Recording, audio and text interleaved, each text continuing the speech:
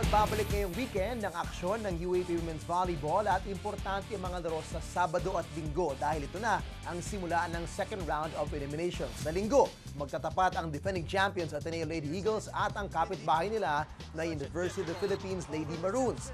Galing sa talo ang Ateneo, kaya determinado silang makabawi habang susubukan naman ng UP na masundan ang kanilang panalo noong nakarang linggo. Sa Sabado naman, tatangkain ng De La Salle Lady Spikers ah, na maibaon ang mapait na talo nila kontra sa UST noong Miyerkules. Makakatapat ng Lasal sa kanilang unang laro sa second round ng Far Eastern University Lady Tamaraws na gusto naman makabawi sa talo nila sa Lasal noong first round. Gaganapin ang mga laro sa Phil Oil Arena sa San Juan at mapapanood din ng live dito lang sa ABS-CBN Sports in Action.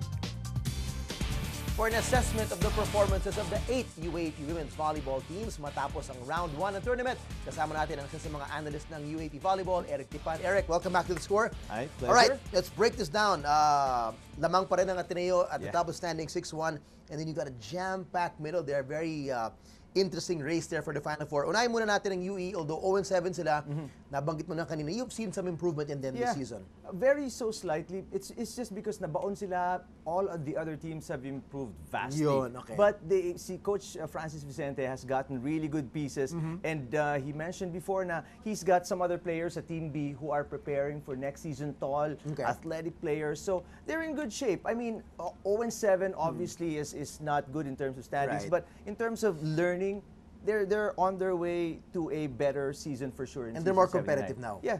Okay. All right. N- next up there, tabla-tabla. You have NU, USC, Adamson. Lahat yan 3-4. Yep. And they're all just, you know, that one game behind as well uh, to fight for the Final Four slot. So let's start with Adamson. Um, what have you seen from Adamson this year? What's doing better for them? Well, Adamson, they, they've had a lot of holes sa depensa, unlike before. That's that was one of their strong suits, but not so much this year. They've shown uh, brilliance defensively, but not on a, a consistent basis. They've lost some games they should have won. They were tight in games that they should have had an advantage. So that's why they put themselves in that situation. But they've they've shown that they have the capacity to to compete. That brilliant uh, comeback down two sets against FEU is an example of Okay. how good they can be in season 78. So second round, they're, they're going to adjust. They're going to be better. So they can mount on wins Yeah. like that that they've done really, really well. Okay. Um, NU, I'm sure Coach Roger, uh, he, said it himself. He's disappointed with the way the, the team is at 3 and 4 now. They, they, they think higher of themselves, Yeah. obviously. Anong nagiging hamon para kay Coach Roger with NU and why are they only 3 and 4? Well, he's been talking about internal troubles of the team after their last, actually their loss um, against, uh, against UST. Okay. He spoke about uh, the, a brewing internal trouble. He wouldn't specify it, uh, and then Which is strangely honest for him to begin with, Yeah. to bring that up. Yes. And then they lost to um, uh, FEU Okay. as well in three sets. So that's surprising because they're a team that beat LaSalle. Yun na nga eh. And, Oo. and a lot of people expected that they were on their way And up. that was supposed to be a statement win for them. Exactly. LaSalle, oo. Exactly. And, and then all of a sudden, these two losses that they couldn't explain. So they're up and down Yeah. as always. NU's always been like that. It's been the knack Mm-hmm. uh, of, the team. Even with uh, Dindin Santiago before, dalawang malalaki yung magkapatid Santiago sisters. They couldn't really maximize. Pero- and they, it seems that they still can't Right. maximize Jaja this season. Pero medyo head scratcher ngayon kasi this is the season na medyo mas matagal yung paghahanda nila with Coach Roger kasi last Exactly. year he came in mid-season. Mid-season, that's right. The- Understandable, pero ngayon buong taon na siya nakapaghanda and Yeah. yet ito yung kanilang Exactly. struggles pa rin Yeah. NU. And they're a talented team, ah. Don't don't get me Mm. Yeah, wrong. yeah, they, oh, they've got really they're good uh, players, Correct. and that's why it's puzzling. They got all athletic players, and it's puzzling why they Mm. can't string up a series of games together. Well, probably as well. I said, gumaling din yung ibang mga teams. So it's That's not true. always Mm-hmm. about them. Meron din kalaban sa kabilang side ng net. Okay, uh, UST naman, they're 3 and 4 but they've had some big wins. The, the most recent, of course, was the sweep against Lasal. Yep. That was a good way to end the first round for them. Pero EJ Laure, Cherry Rondina, how good have they been playing? That could be something they can mount on in the second round. Well, Cherry Rondina, she's not much of a surprise. From last year, Mm. because she was coming off the bench, hindi masyado yung, um, in terms of her exposure. But Mm. this year, starting six already. She's really blossomed into Mm-hmm. the player that you know a lot of people expect her to be. Number one in scoring in the UAAP, leading the way ahead of Alyssa Valdez. Right, yeah. So uh, it- they they can be much better. Wala lang si Pam Lastimosa obviously for the rest of the season because of an ACL injury. lang, but if they had her, they would have they would have been solid. But right now, after that win against LaSalle, they, they you know they've shown they're also showing the rest of the league that second round is coming up and we're ready. And that's their statement win to come into the second round. So good momentum boost for them. Okay, next up, uh, tied for uh, third and fourth yan, FEU and UP. Unahin na natin UP. They had that big win that Yeah. same weekend uh, of in Lasal and they beat USC naman. Kamusta naman ang UP this season? Uh, they have a lot of expectations then. Ngayon na healthy yung lineup nila, intact na sila. Yeah. Kamusta Well, ang UP so far? Uh, they're doing pretty well. Um, see, Coach Jerry, um, he he uh, he's just I guess uh, pragmatic about it. He doesn't want to um, say that he's he's satisfied with the performance.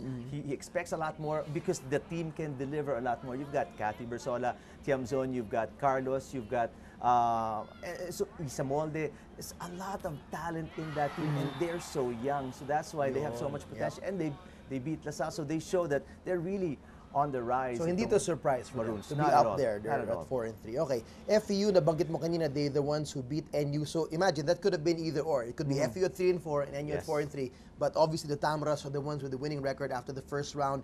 Um, Gano'ng kalaking bagay yun for them to beat NU and to be there in the upper four right now? It's it's huge, definitely. Coach Jacques De Los Santos has has been able to maintain a consistency sa FEU, Mm-hmm. Okay. and uh, throughout the years, I guess that that uh, rich volleyball heritage ng Tamaraos, Mm-hmm. it's been ingrained with the girls, despite not having. Um, you know, yung, yung usual names from years before, Mm-hmm. they still have maintained that quality of performance that you expect from the Lady Tamaraws. And and they're doing pretty well at 4 and 3. They're at pace to stay at the top 4 with Mm-hmm. the way with the way things are going. Correct. And then, of course, they're not so far behind LaSalle. It's only 5 and 2, one game behind lang yan. And, of course, LaSalle would have loved to finish it at Yeah. 6 and 1 to tie Ateneo, but they dropped that uh, game against UST. That was strange. Uh, I, I saw uh, Coach Ramil saying something like maybe they were still in cloud 9 Mm-hmm. after beating Ateneo. Ano nangyari sa game na yun kung bakit nadapa sila after It's- what should have been a big win to boost Exactly. them even higher? Exactly. It should have been the follow-up to Yun the eh. statement win. Pero um, maybe that's a major thing, yung uh, Cloud9 celebrating Could be, still. But. I mean, for a team with such experience, uh, LaSalle, Mika Reyes, you've got Kim Fajardo, Mm. they've been there, they've been to the finals.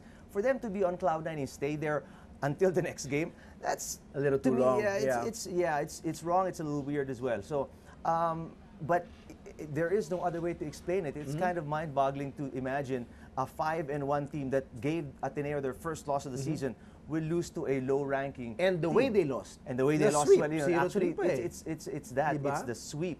So, but I guess that also goes to show you that the, this this season is wide open. So Mm-hmm. many teams, so many great players, and really things can turn around on you after a set if you're not careful. All right, and last but not least, of course, Ateneo. They are six and one. They had a great run of 6 games, but they did show some cracks in the wall. Nabanggit natin uh, when you guessed it with Mozi before, uh, losing to LaSalle. How can they learn from everything in the first round and maybe change things up in the second round to even be better? Well, not they don't need to panic right now. I mean, at six and one, they're in really good positions. They're- They're still leading the standings. Um, I guess I, I don't know about the learnings, but it showed their weaknesses. Uh, Yun. fix them.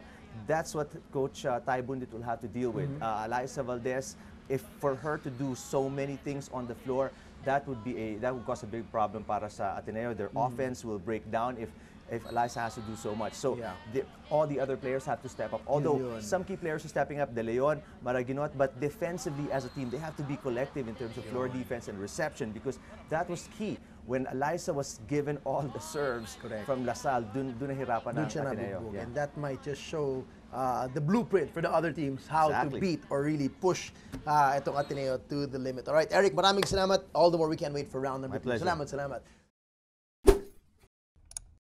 For more sports updates, keep watching The Score and don't forget to subscribe.